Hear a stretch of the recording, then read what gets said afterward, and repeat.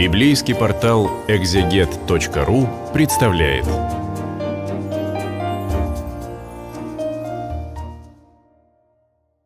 Здравствуйте, братья и сестры, все любящие чтение Слова Божия. Мы продолжаем с вами изучение Евангелия от Матфея на библейском интернет-портале exget.ru.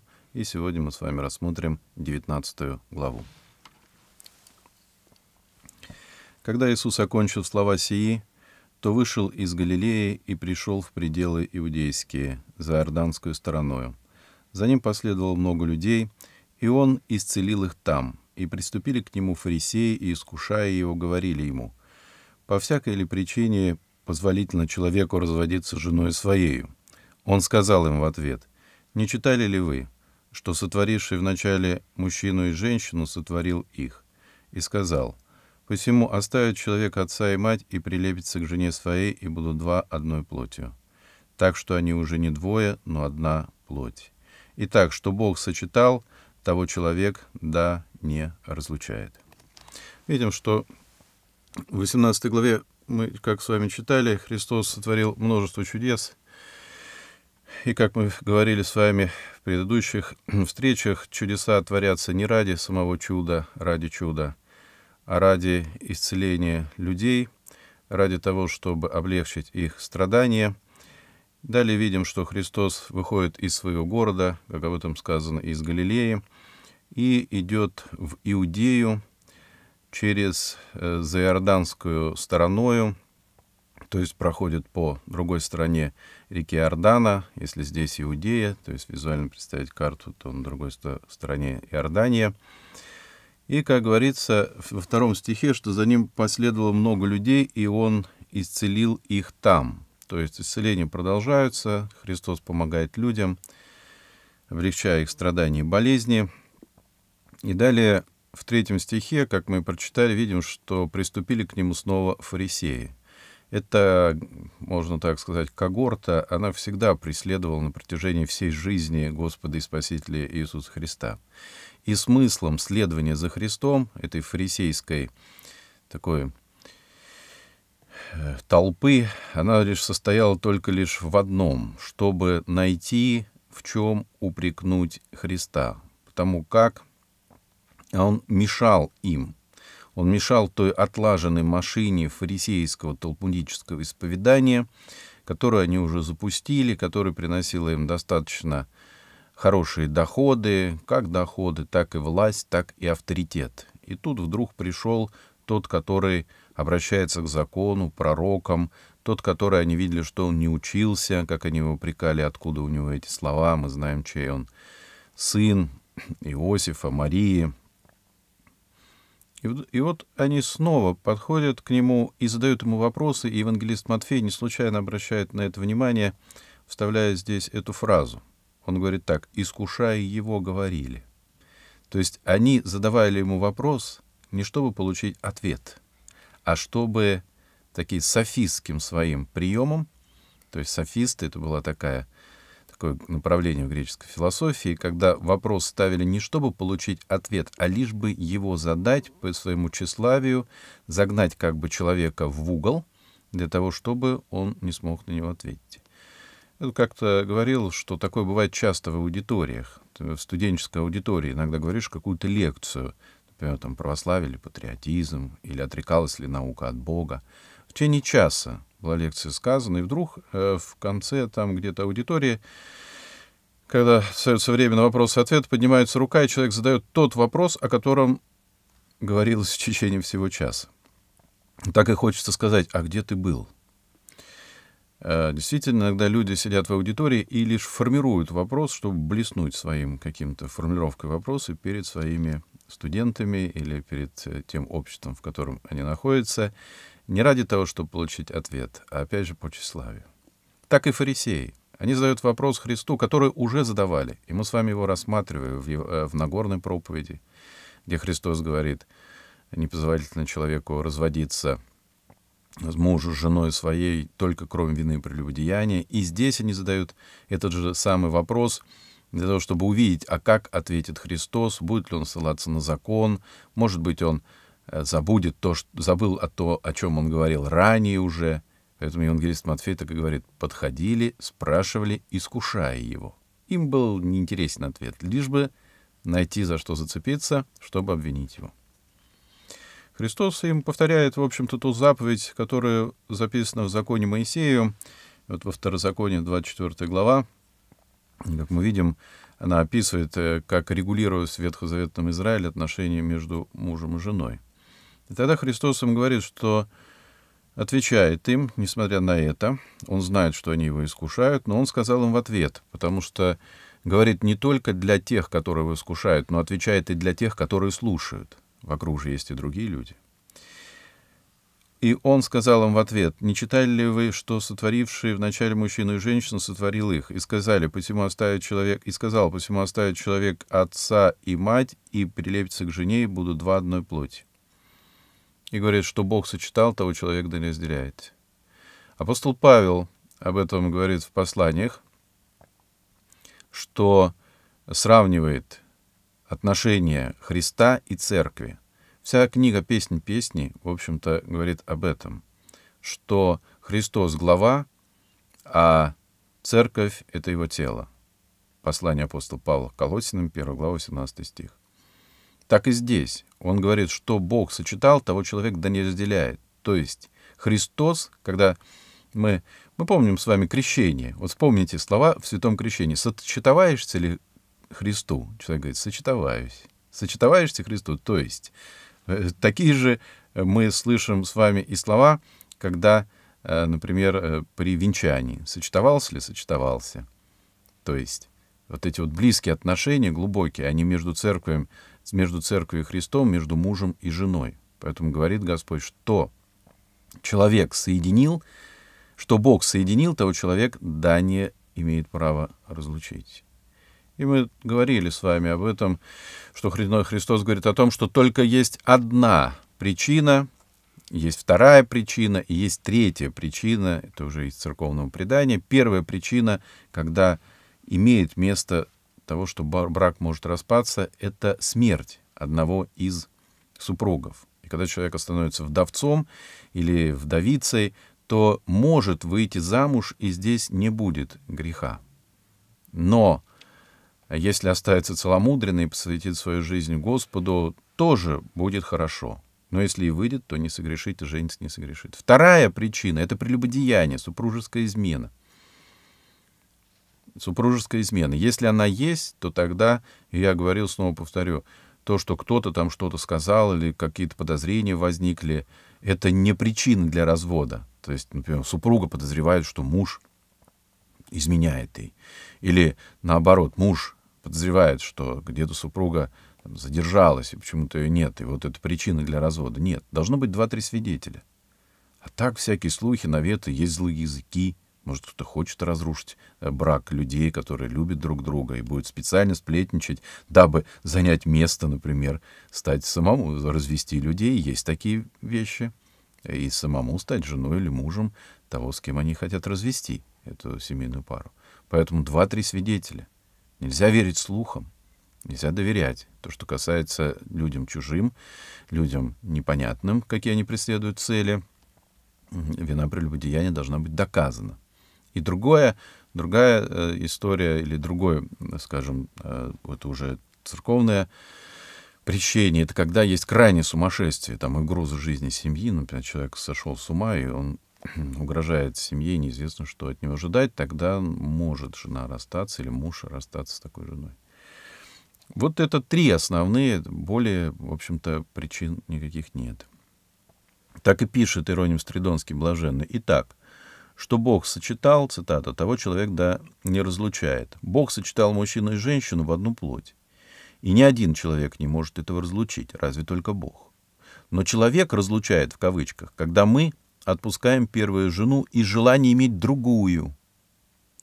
Вот это неправедный развод.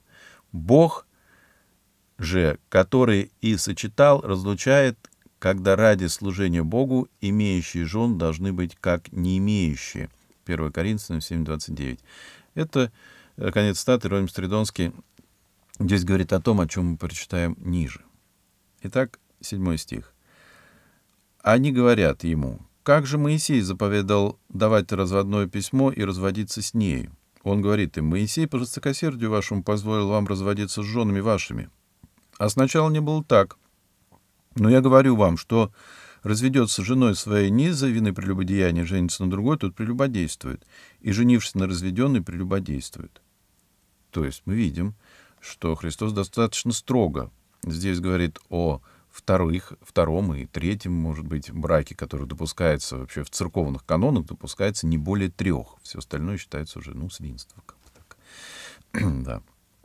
Мы знаем, что иногда императорам, например, Иоанну Грозному, позволялся, позволялось э, на рассмотрение э, собора, э, позволялось жениться в четвертый раз. Но он писал специальное прошение не ради похоти плотской, как он сам писал в своих письмах, но ради чадородия, чтобы был наследник. И тогда э, собор дал ему такое разрешение и, также процитировал слова не ради похоти, но ради того, чтобы было наследство. Во всех других случаях это все очень, да, здесь нужно быть осторожными. Э, сказано, женящий на другой, тот прелюбодействует, и женящий на разведенный прелюбодействует. Но если вдруг, скажем, человек Э, по своему, по своей слабости или по своему такому незнанию каких-то заповедей Божьей совершил уже такие грехи, что же ему теперь делать, если он женился, скажем, на разведенной? Что же ему теперь разводиться с разведенной, если он прочитал эти слова, кто женится на разведенной, прелюбодействует? Конечно, нет. Прелюбодеяние — это не акт, который продолжается. Не сказано, кто живет с разведенной, а сказано, кто женится. Поэтому это не акт, который продолжается теперь всегда покаянии человек, принимая это, если, да, если это и произошло, то вспомнить надо 50-й псалом покаянный царя Давида. Тот псалтирь, который мы читаем, который используется на богослужениях. Он и прелюбодействовал с Версавией. Он и с Урию, своего лучшего друга, отправил на военные действия, заведомо зная, что он погибнет. Но он же, он же покаянными слезами на протяжении всей жизни, на протяжении всей жизни просил у Бога прощения. Поэтому если кто-то из нас совершил подобный грех, женился или вышел замуж разведенный, по своему малодушию, маловерию или незнанию заповеди Божией, будем помнить, что не надо теперь дальше там разводиться или что-то еще делать, надо теперь жить достойно имени христианина и не совершать грехов, а каяться в этом и соединяться по милости Божией со Христом. Далее сказано, говорят ему ученики его, 10 стих, если такова обязанность человека к жене, то лучше не жениться. Действительно, они привыкли в иудаизме раздавать письмо разводное, вот как здесь сказано в 24 главе в книге Второзакония. Если кто возьмет жену и сделает с ее мужем, а она не найдет благослов...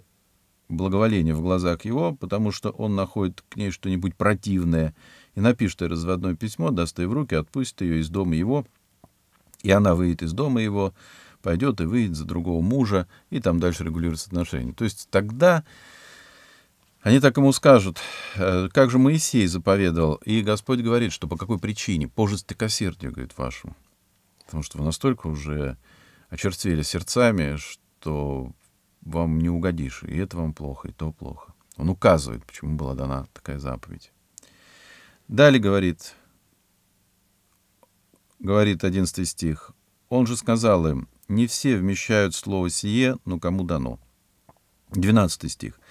«Ибо есть скопцы, которые от чрева матери родились так, есть скопцы, которые оскоплены от людей, и есть скопцы, которые сделали сами себя скопцами для Царствия Небесного. Кто может вместить, да вместит». Вот эти очень важные слова «кто может вместить, да вместит». Кто такие скопцы? Скопцы — это люди, которые не желают вступать в брачный союз и в брачные, ну, сексуальные отношения. С такими скопцами есть скопцы три как бы категории, которые здесь указывает, на которые Господь. Первые — это те, которые родились таковыми. То есть люди есть такие по природе, э, они данные им Богом, которые, в общем-то, не имеют какого-то такого вот влечения к противоположному полу. Это такие родились, так, то, что называют людей такими фригидными. Есть те, которые оскоплены от людей, то есть они ради каких-то человеческих амбиций не хотят вступать в брак с лицами противоположного пола. И есть те, которые оскоплены для Царствия Божия. Это те, которые дают обет безбрачия ради служения Богу. И первые, и вторые не получают никакой награды. Те, которые по природе склонны к тому, что у них нет такой страсти, они получат за это награду.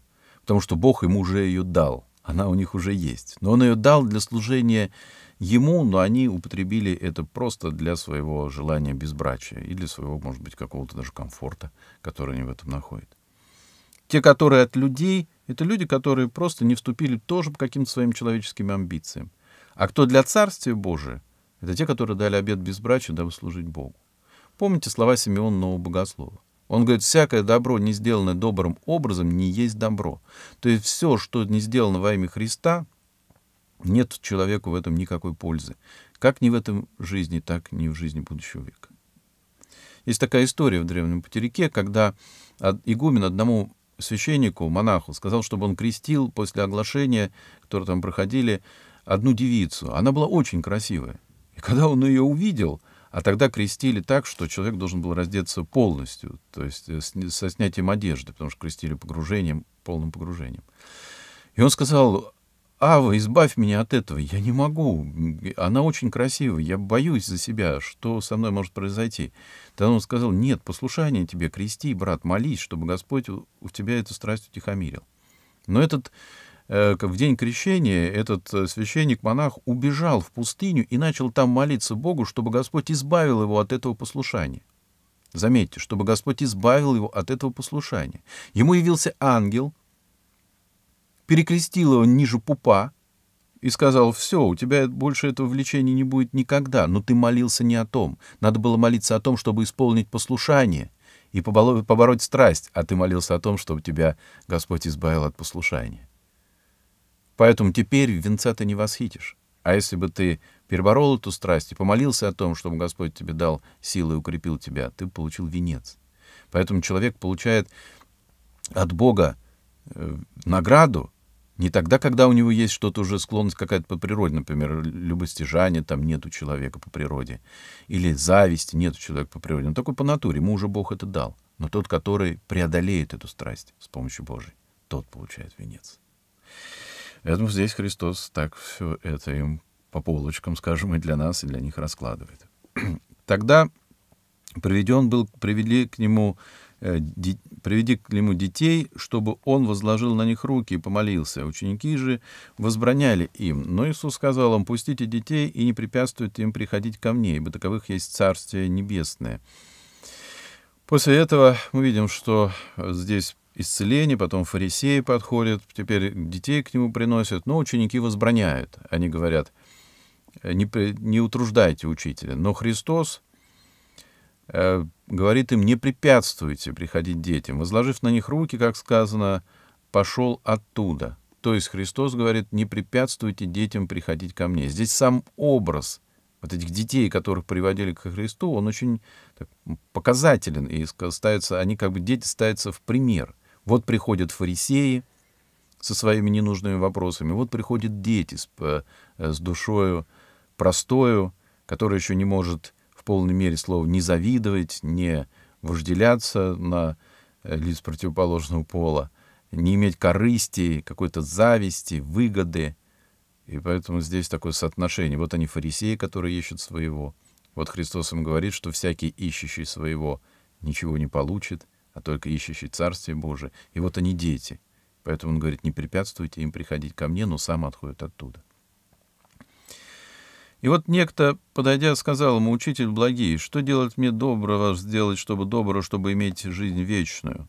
Он же сказал ему, «Что ты называешь меня благим? Никто не благ, как только один Бог.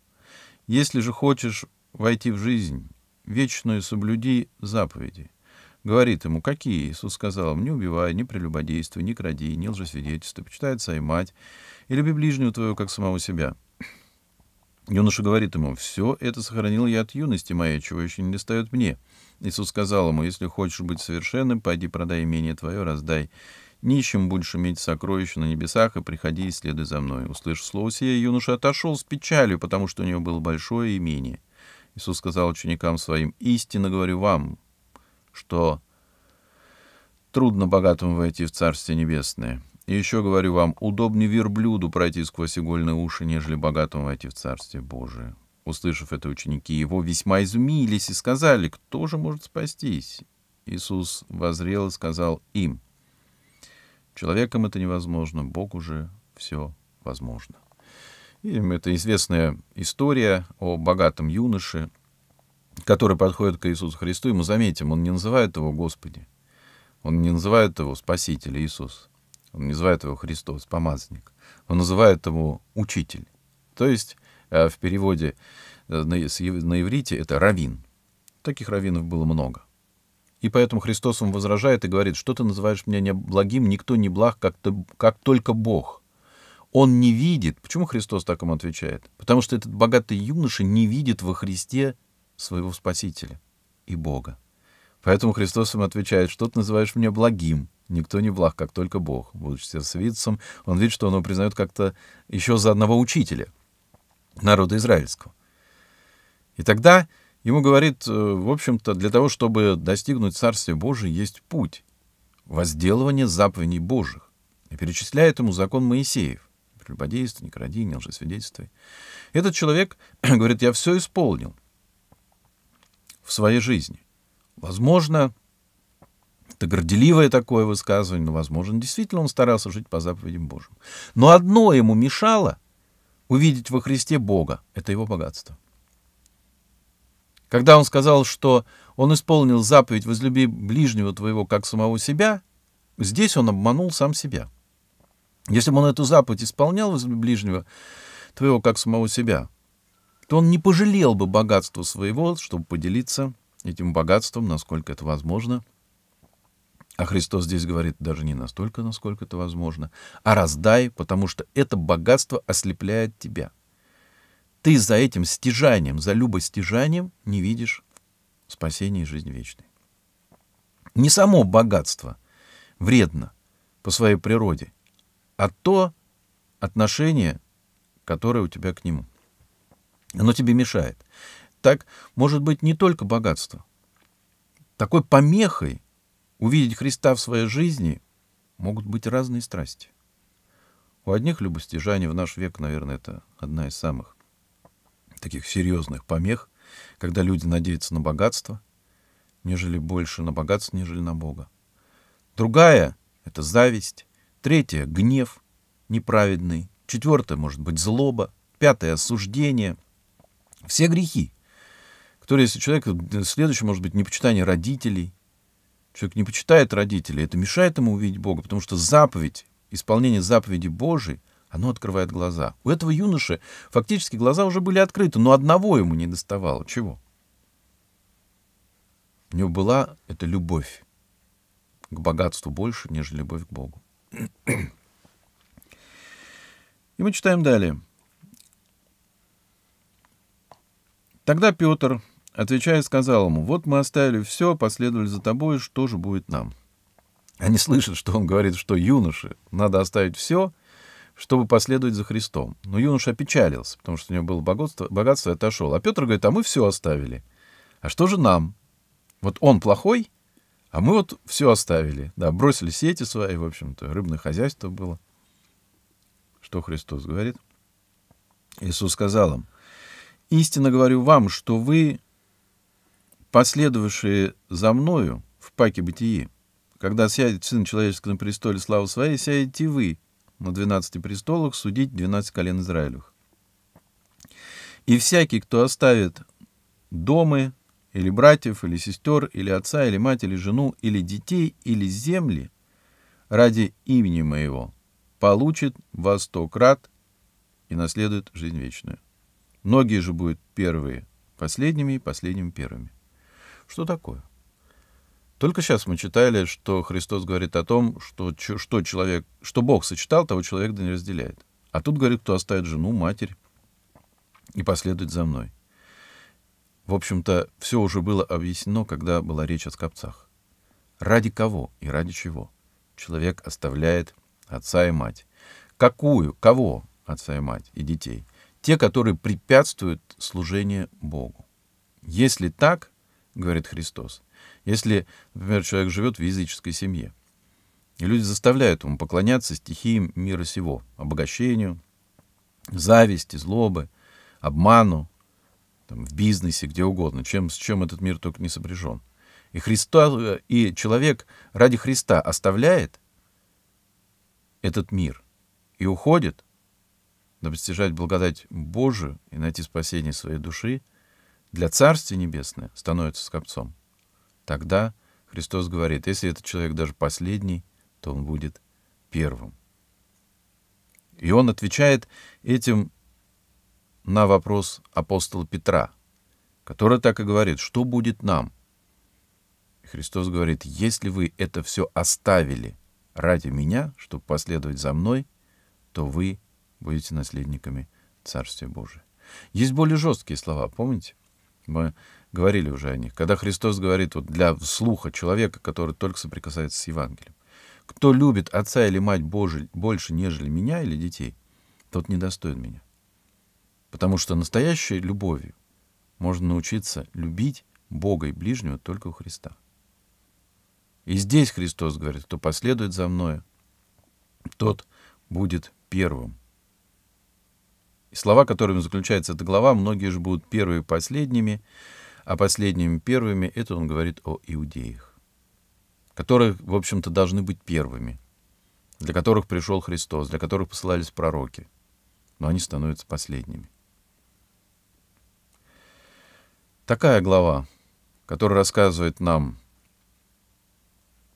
о важности супружеских отношений, верности в супружеских отношениях, о том, чтобы мы дорожили своей семьей и без причины не искали бы развода ради того, что есть еще такие глупые, вот о чем я не сказал, всякие бредни по гороскопам, там люди не подходят и прочие вещи.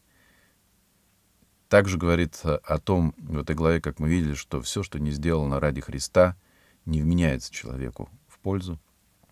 Видели, что любая страсть может ослепить человека, как с богатым юношей, за которым мы не можем рассмотреть Христа. И далее заключается эта глава, что у нас есть всегда надежда.